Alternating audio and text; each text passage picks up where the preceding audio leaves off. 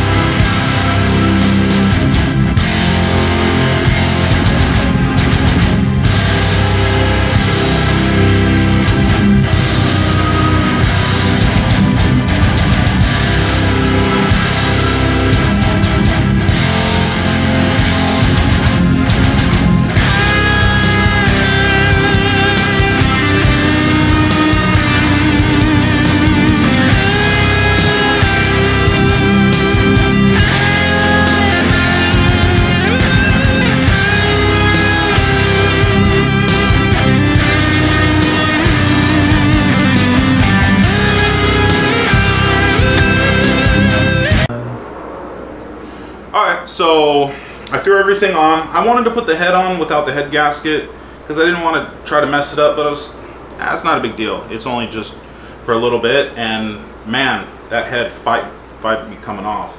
Those studs really fit tight. So, as you can see, we got some brand new Drag Cartel uh, chain guides with the special plastic. Uh, everything's lined up. Everything is good.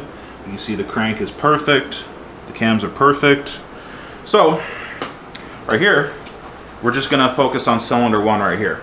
And as you can see, if I push on this, I can I can feel the piston. So that's quite a, that's quite a bit right there.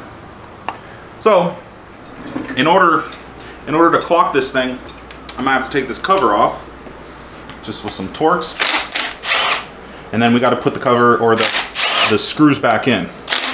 Oops. There we go.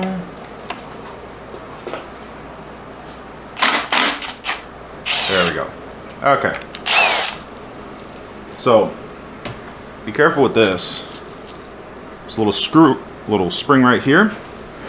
And then in there is, I'm not sure what you would call that, but that's what actually locks it at zero.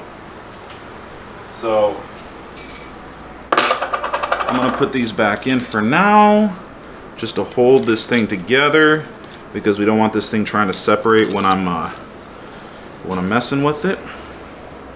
But I'm gonna try to wiggle that little piece out.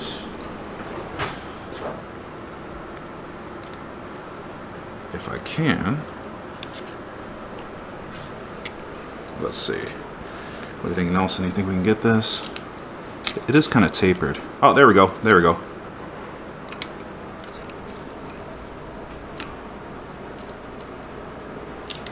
There we go. So what happens is when this thing goes back to zero and there's no pressure, this goes into the backing plate and actually uh, locks it at zero. So now the VTC can freely move within its range. Uh, this is an RBC, so it can move 50 degrees. I also have an adjustable exhaust gear, a Toda one. I've had that thing a very, very long time. When when did I build my first motor, Nelson? It must have been like 2006. I was gonna say 2006, 2007, right about Yeah. that time. Yeah, so I've, I've had that gear since I built my first motor. But I actually didn't really assemble the, the bottom end. You know, it, um, my friend John from High Tech did. Okay, so now, as you can see,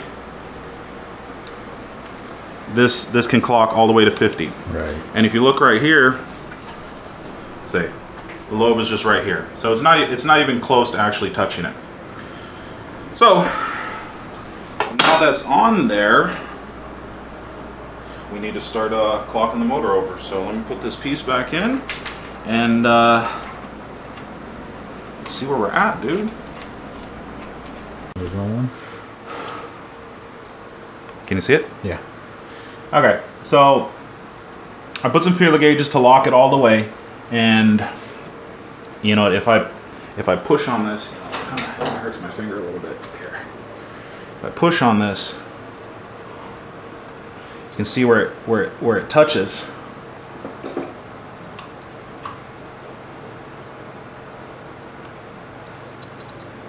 See? Your hands there. No, but look right here. See? We still have, at, at the highest point, can you see it, Nelson? I'm with you. At the highest point, we still have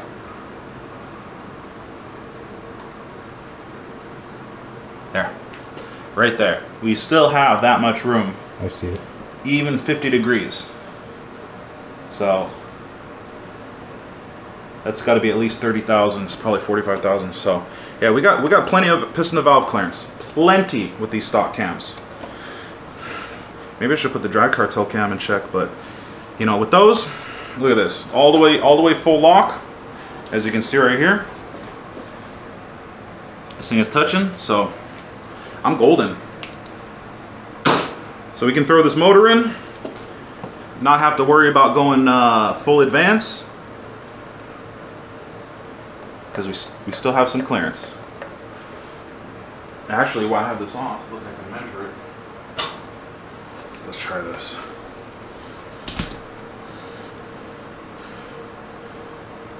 Let's just throw like 20 and 21. Let's just say like 40 thousandths.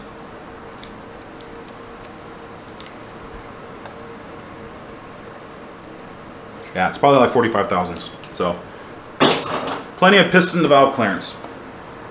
So that just makes me feel a lot better. But I'm gonna work on this uh, here. All right, so I'm satisfied with the valve clearance. Um, I got to take the head back off. I got to go get the regular valve springs installed. Um, take all this stuff off, put it all back together, torque it down for uh, the final time. And then next time you guys see this engine, it'll be top to bottom, ready to install in the EM2. So like and subscribe, and I'll see you guys next time.